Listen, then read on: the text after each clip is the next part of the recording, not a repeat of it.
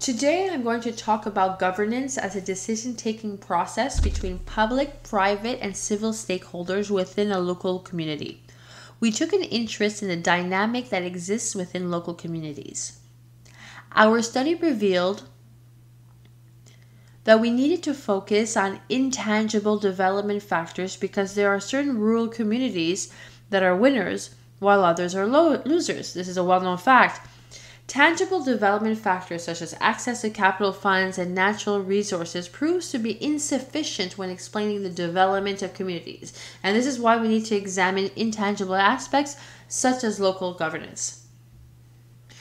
So, what do I mean by governance? As I mentioned earlier, governance is the original decision taking process that involves political, economic, social, and civic actors within a community. Often, when we examine these decisions, we really realize that these are novel institutional arrangements implemented by local actors.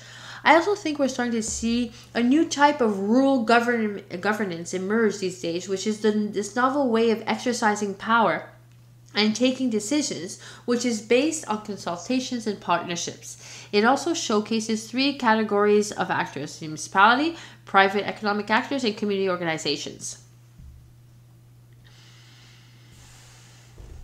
I apologize for the sound, but I will continue with my presentation. So, what has changed? Traditionally, it was the local political and economic powers that took decisions. However, we are now seeing the rise of local civil society and community organizations that are willing and wanting to be heard.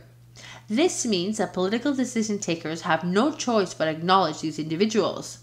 In other words, this means that you must measure the social acceptability of all projects impacting a community.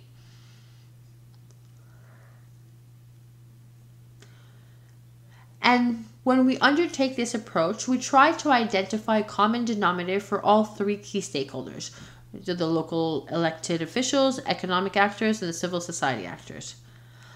I will now give you a few examples of what I consider to be successful governance. This particular case study is about the small community of Saint Francoise located near Rimouski. So, a relatively large piggery wanted to set up shop in Saint Francoise. There was all sorts of opposition, and when the stakeholders sat down to discuss this project under the leadership of the town mayor, they realized they needed to identify a site for the piggery that would suit everyone, including from an economic and environmental POV.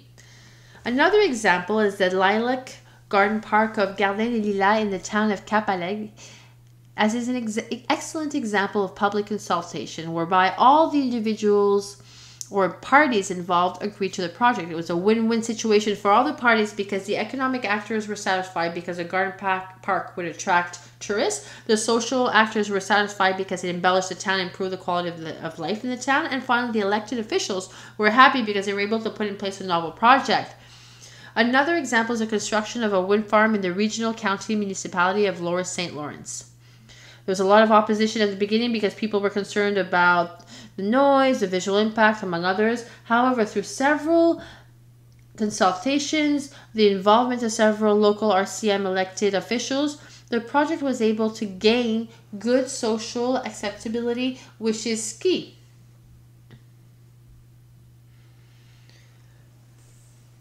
We were also conducting other research projects at the time. So, for example, the Belle Economy Rural, Rural Project with Bill Reimer, funded by the CRH in different rural communities. And we realized that the initiatives rolled out by community actors and voluntary organizations were well received by citizens. You can see here that private entrepreneurs had an appreciation rate of 67%. And it's important to note that private entrepreneurs in rural communities usually have family ties or other types of ties to the local community. They aren't foreigners, they aren't large companies. So therefore it's they they have an economic impact on the community and create jobs as well. Mayors also have a high appreciation rate, much higher than that of the federal and provincial elected officials. We thus concluded that when elected officials are closer to the people, out on the ground, it is more likely that the work they do is appreciated and recognized. So now we study this notion of governance and we realize that there are three types of models of governance, regardless of the dynamic I just walked you through. There are two key models. So they are the functional governance model and the citizen or what we call partner based governance model. I'm not going to provide you with a full description as we are short on time, but we can see, for example, that residents under the functional governance model see themselves as taxpayers, while under a citizen or partner based governance model, residents see themselves as citizens. Under the functional governance model, the local government delivers services to residents as they are seen as consumers, while under the citizen or partner based governance model, the local govern- government sees itself as an institution that represents civil society. In one case, individuals advocate their rights, and in the other, their duties. So, in the end, though, in light of the financial constraints small communities face, amalgamations, privatization, the building of services will be favored, while in the other cases, individuals will seek to put in place partnerships with other municipalities so they can share the burden of certain expenses, such as waste management or the creation of intermunicipal boards. To conclude, we know that initiatives rolled out by volunteer organizations is well received by citizens. And we also know that leading communities have effective governance models. And it is that governance that largely explains the dynamism that exists within these communities. In other words, the development of local economies can be encouraged and fostered by strengthening development capabilities. There are different types of capabilities. For example, we study social capital and, of course, local governance. That these are part of the intangible development factors. What does this mean for public policies? We can draw the following conclusion. If we know that the economic prosperity of rural communities depends on local governance capabilities. This means that public policies that are put in place to support local development must first aim at developing social capabilities